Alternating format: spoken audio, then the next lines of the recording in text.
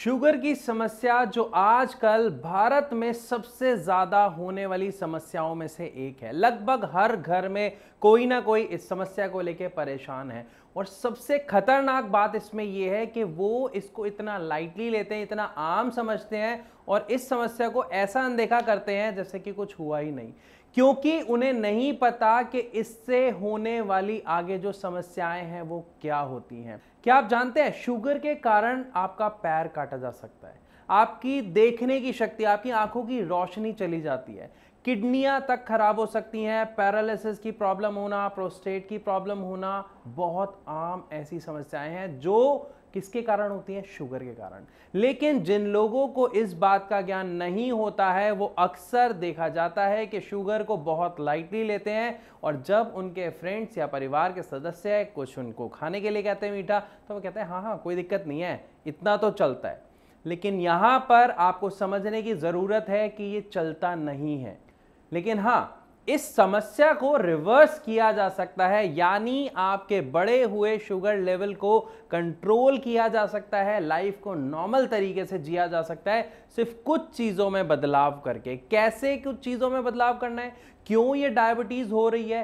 किन लोगों को ये डायबिटीज़ होती है? और सबसे अहम बात ये कैसे पता लगा सकते हैं हम कि हमें शुगर होने वाली है या नहीं?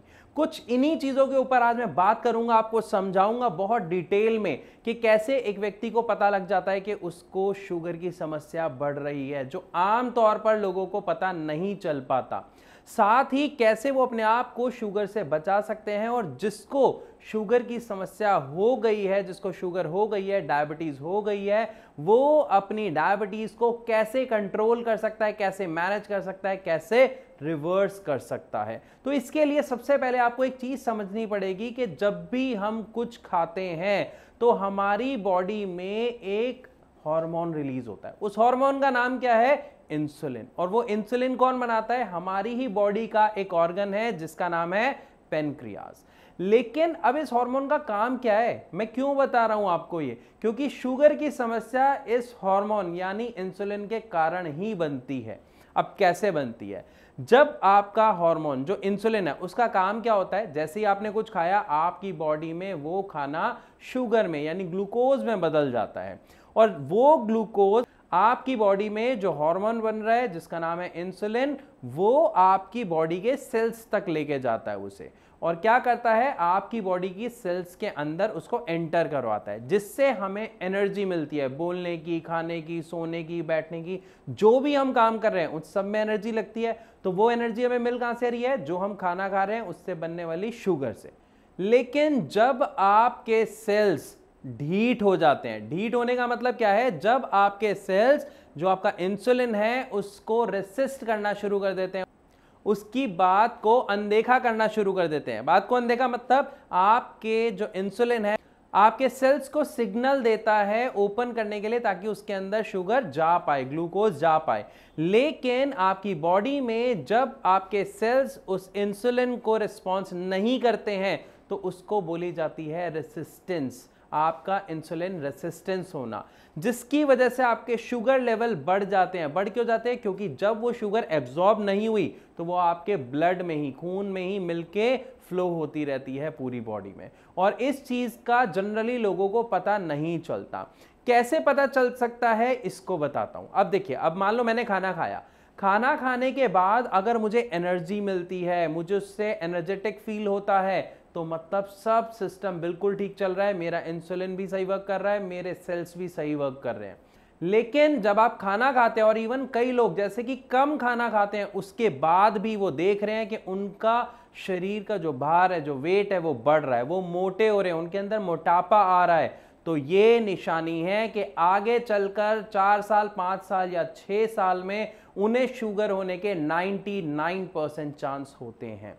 क्यों? क्योंकि ये जो आपको मोटापा आ रहा है, ये आ क्यों रहा है? क्योंकि आपकी बॉडी में जो आपका इंसुलिन है, वो प्रॉपर वर्क नहीं कर रहा।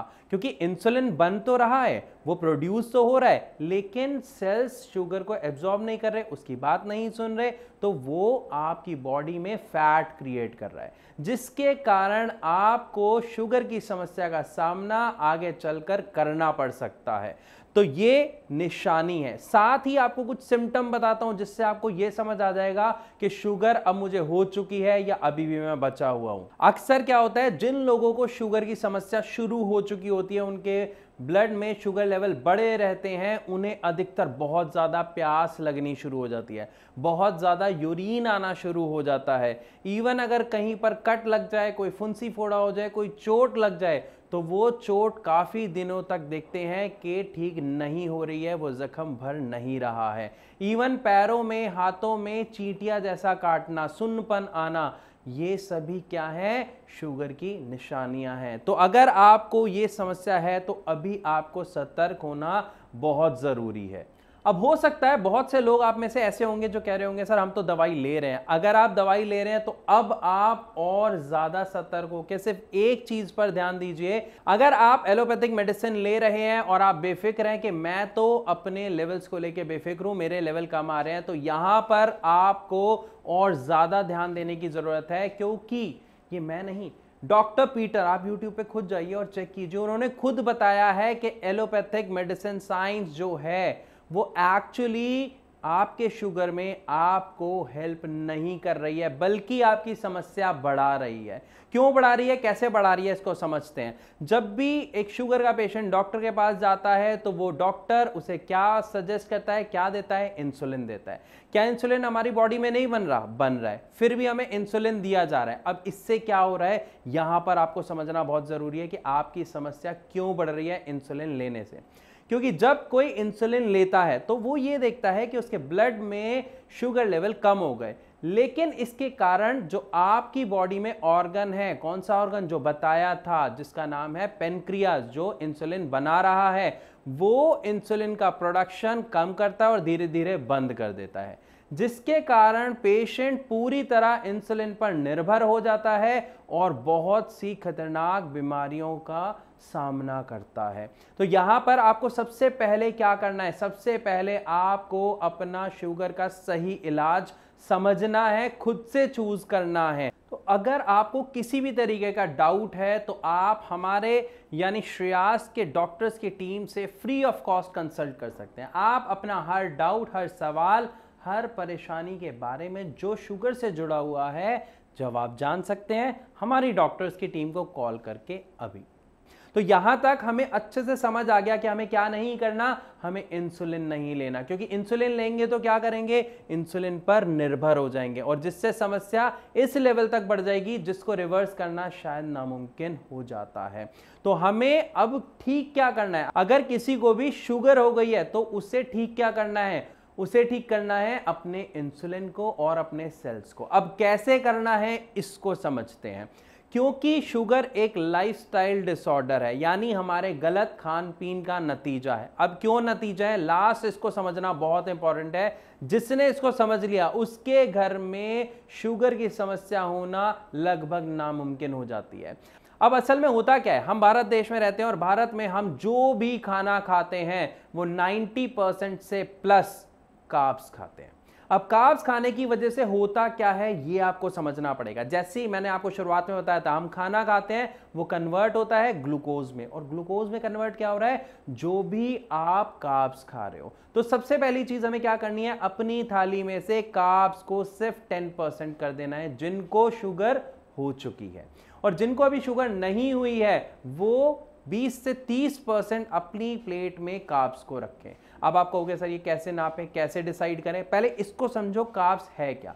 वो सारी चीज़ें जो मिठास अपने अंदर रखती हैं, वो काप्स से भरी हुई हैं। अब सबसे पहली चीज़, हम क्या खाते हैं? रोटी। अब रोटी क्या है? फुल ऑफ़ काप्स दूसरी चीज़, आलू। आलू क्या है? फिर काप्स है। अगर आप दाल लेते हो तो उसमें थोड़ा सा आपको प्रोटीन मिल जाता है। अगर आप उसमें घी डाल रहे हो तो कितना डालते हो? शायद एक चम्मच, है ना? तो उसमें आपको थोड़ा सा फैट मिला। लेकिन आपकी पूरी प्लेट में अगर देखा जाए तो सबसे ज़्यादा मात्रा में आप क्या ले रहे हो? काप्स ले रहे हो। सब्ज़ी ले रहे हो तो काप्स जा रहा है। रोटी खा रहे हो तो काप्स जा रहा है। अब आपके मन में क्वेश्चन आ रहा होगा तो क्या हम रोटी खाना छोड़ दें? रोटी ना खाएँ। बिल्कुल खानी है, लेकिन कैसे खानी है, इसको समझना है। सबसे पहले हमें अपनी प्लेट में ध्यान रखना है, उन सारी चीज़ों को लेना है जो लो काप्स है। अब लो काप्स क्या होती हैं? जितनी भी हरी सब्ज़ियाँ हैं, वो सारी लो काप्स होती हैं। आप उनको खाएँ। हाँ यहाँ पर एक चीज़ ज़रूर है कि ये थोड़ा सा टेस्टलेस होता है, इसलिए लोगों को लगता है ये हम घास फूस खाएँगे। तो प्लीज़ अगर आप अपने आप को स्वस्थ रखना चाहते हैं शुगर से वापस लाना चाहते हैं तो आपको यहाँ पर यह समझना पड़ेगा कि डाइट का क्या रोल है। अब इसमें आप जो रोटी खा रहे हैं, उसको 10 परसेंट यानी एक या दो रोटी खाएँ, लेकिन बाकी अपनी पूरी प्लेट में आप दाल को बढ़ा लीजिए। उस दाल में आप घी डालिए। जो फैट है, जो प्रोटीन है, ये आपको बहुत हेल्प करेगा न्यूट्रिशन देने में एनर्जी देने में। और इससे होगा क्या? जब आप काप्स कम खाएँगे तो आपकी बॉडी में जो इंसुलिन है, वो ठीक से वर्क कर पाएगा। आपके सेल्स दोबारा उससे रिस्पॉन्ड करेंगे। क्यों रिस्पॉन्ड करेंगे? पहले शुगर इतना ज़्यादा था, अब एक चीज़ खुद सोचिए, आपके घर में कमरा है, कमरे में फर्नीचर ऑलरेडी आपने रखा हुआ है। बेड भी है सोफा भी है टेबल भी है। अब आप एक और कुछ नया फर्नीचर अगर उसके लिए लेके आते हैं तो क्या वहाँ पर जाएगा? क्या वहाँ पर वो सेट होगा? नहीं होगा ना। यही बॉडी का हाल हो रहा होता है, जो नॉर्मल लोग जब कुछ भी खा रहे हैं, हम दाल खा रहे हैं, रोटी खा रहे हैं, चावल खा रहे हैं तो काप्स खा रहे हैं। आपको उसका अमाउंट कम करना है। इसको आप कुछ ऐसे समझ सकते हैं, जैसे दिल्ली का ट्रैफ़िक ऑलरेडी इतना है, ऊपर से हम चाहते हैं, हम टाइम से पहुँचे। नहीं पॉसिबल ना। तो हमें क्या करना पड़ेगा? एक सिस्टमैटिक वे बनाना पड़ेगा अपनी बॉडी में, जिसमें काप्स का अमाउंट कम कर देंगे और आप अपनी बॉडी में, अपने शुगर के लेवल में ड्रास्टिक चेंज देखेंगे। तो अगर आपको किसी भी तरीके का डाउट है तो आप हमारे, यानी श्रेयास के डॉक्टर्स की टीम से फ्री ऑफ़ कॉस्ट कंसल्ट कर सकते हैं। आप अपना हर डाउट हर सवाल, हर परेशानी के बारे में जो शुगर से जुड़ा हुआ है, जवाब जान सकते हैं। हमारी डॉक्टर्स की टीम को कॉल करके अभी।